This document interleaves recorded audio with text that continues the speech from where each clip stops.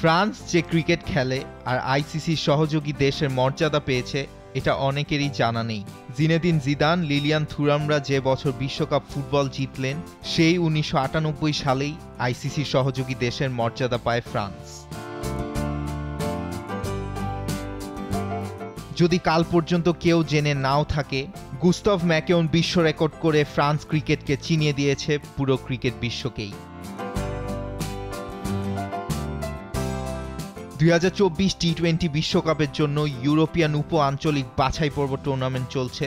ফিনল্যান্ডের ভান্তায় কাল দারুণ এক বিশ্ব রেকর্ড দেখা গেল এই টুর্নামেন্টের ফ্রান্স সুইজারল্যান্ড ম্যাচে ক্যারিয়ারে এ নিয়ে দ্বিতীয় আন্তর্জাতিক ম্যাচ খেলতে নেমেছিলেন ম্যাকেওন। এবারের বাছাই পর্বেই বি গ্রুপ থেকে চব্বিশ জুলাই চেক রিপাবলিকের বিপক্ষে আন্তর্জাতিক অভিষেক ঘটেছে ম্যাকেওনের। সে ম্যাচেও চুয়ান্ন বলে ছিয়াত্তর রানের দারুণ ইনিংস খেলে দলের জয় গুরুত্বপূর্ণ ভূমিকা রাখেন। তবে বিশ্ব রেকর্ডটি করেছেন তার দ্বিতীয় ম্যাচে সুইজারল্যান্ডের বিরুদ্ধে। আঠারো বছর, দুইশো আশি দিন বয়সে শতক তুলে নিয়ে রেকর্ডটি গড়েন ফ্রান্সের ওপেনার গুস্তাফ ম্যাকেওন ছেলেদের আন্তর্জাতিক টি টোয়েন্টিতে এটি সবচেয়ে কম বয়সে শতকের রেকর্ড। নয় ছক্কা ও পাঁচ চারে একষট্টি বলে একশো নয় রানের ইনিংস খেলেন ম্যাকেওন ফ্রান্সের এই ওপেনার ভেঙে দিয়েছেন হাজরাতুল্লাহ জাজায়ের বিশ্ব রেকর্ড।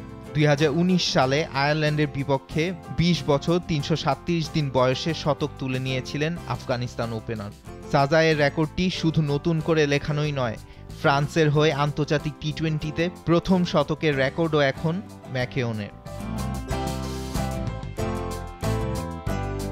তবে এত বিশ্ব রেকর্ডের দিনেও হারের বেদনায় পুড়তে হলো ফ্রান্স আর ম্যাকেওনকে তার বিধ্বংসী ইনিংসের পরও এক উইকেটে জিতেছে সুইজারল্যান্ড। পাঁচ উইকেটে একশো সাতান্ন রান তুলেছিল ফ্রান্স। তারা করতে নেমে শেষ ওভারের জয়ের জন্য ষোলো রানের দরকার ছিল সুইসদের।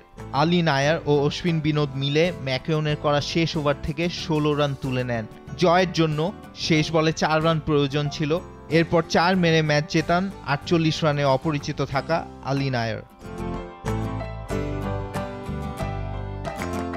দ্বিতীয় ম্যাচ শেষে চার পয়েন্ট নিয়ে পয়েন্ট টেবিলের শীর্ষে আছে নরওয়ে ফ্রান্স দুই পয়েন্ট নিয়ে দ্বিতীয় অবস্থানে আর জয়ের পর সুইজারল্যান্ডও এখন দুই পয়েন্ট নিয়ে তাদের ঠিক নিচে Saif Ahmed Chowdhury T sports